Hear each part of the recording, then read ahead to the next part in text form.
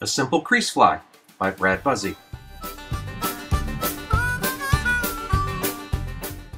Attach your thread to any long shank hook. Make sure you lay down a good thread base.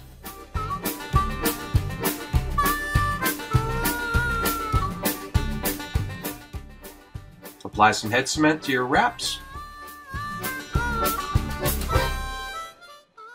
For the tail on this fly, we're going to use combination of kinky fiber and angel hair. Other things you could use is SF blend or just straight bucktail with a little flash.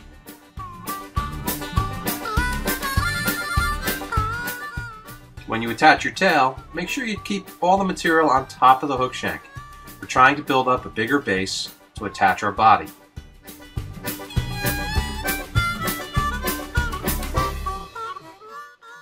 One nice thing about synthetics, if you don't know what color the fly is going to be, tie them in white, because you always can use a marker to color them up.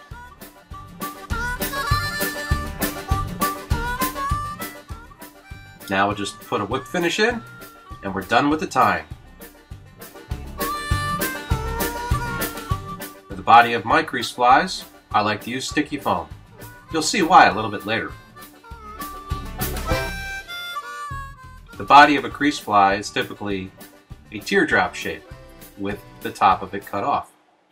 Here I use a plastic template.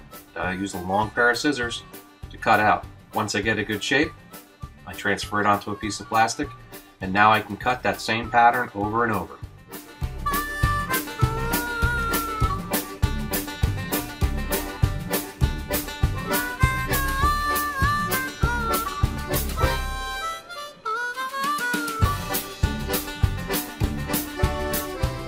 Now take the body, fold it in half, put it up to the fly, mark the length of it with my fingernail, and cut it to length.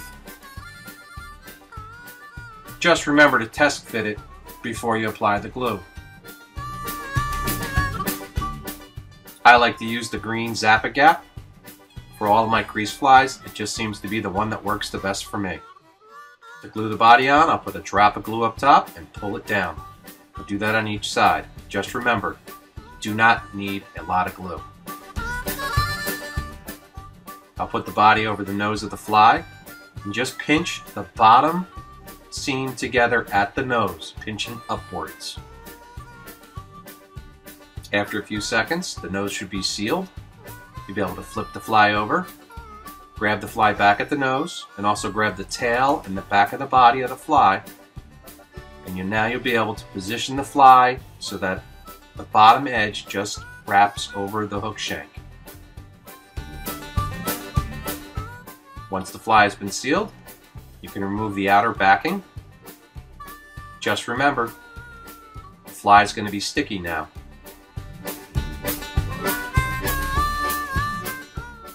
If everything worked okay, you'll be able to move the tail freely inside the fly.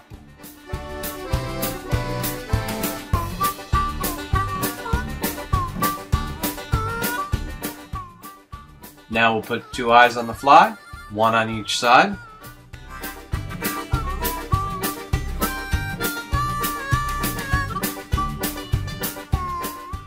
Now we will cover the fly with some Pearl BuzFly foil. This foil only sticks to what is sticky. The foil has two sides, a shiny side and a dull side. Just make sure you put the dull side down, touching the sticky foam. Once the fly is covered, squeeze it a little bit to make sure you adhere the foil to the fly, then remove the foil. As you can see, it only sticks to what is sticky.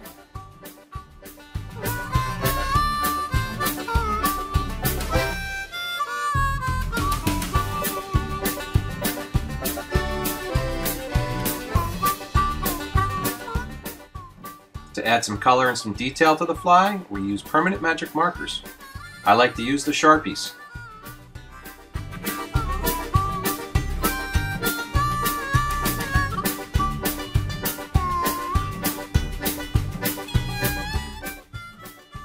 Since we used a synthetic fiber for the tail, we can color that tail with a marker.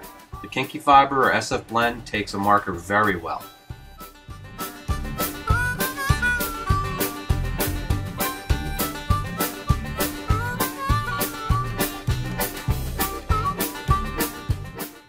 Now we'll take a red Sharpie to make the gills of the fly. I like to do one on each side, and I like to make a little tick mark on the bottom.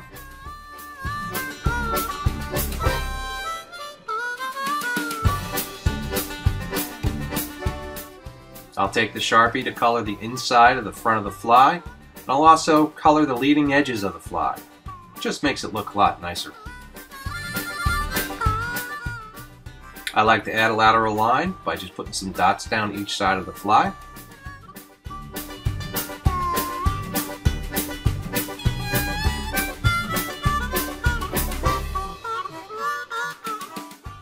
To add a little bit more detail, I'll put some zigzag lines along the top portion of the fly. This is really good if you don't spend a lot of time on it and just do it quickly and haphazardly. I always say the more coffee you have in you, the better.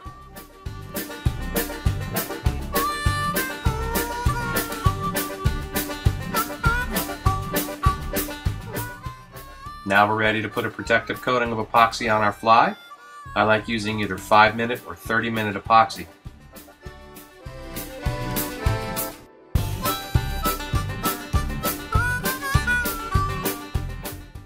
Since I mix my epoxy with the bodkin, I like to use the bodkin to apply my epoxy. I'll just put a blob of it on and then smooth it out, but I'll end up taking a lot of it off. Any extra epoxy I'll stuff down the throat of the fly. I'm more interested in getting the epoxy right around the hook shank and not really on the top part of the fly.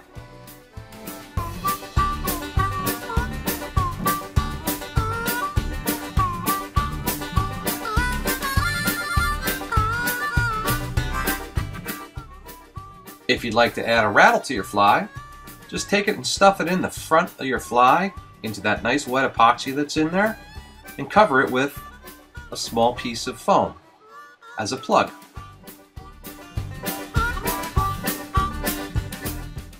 If you didn't add a rattle to your fly, you still can plug the front of it to make it more of a popper and also to add a little bit more body and shape to the front of the fly.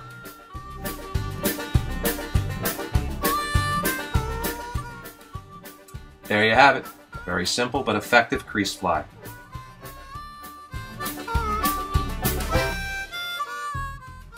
If you need more information, you can contact me at buzfly.com or visit the Atlantic Saltwater Fly Rodders page at aswf.info.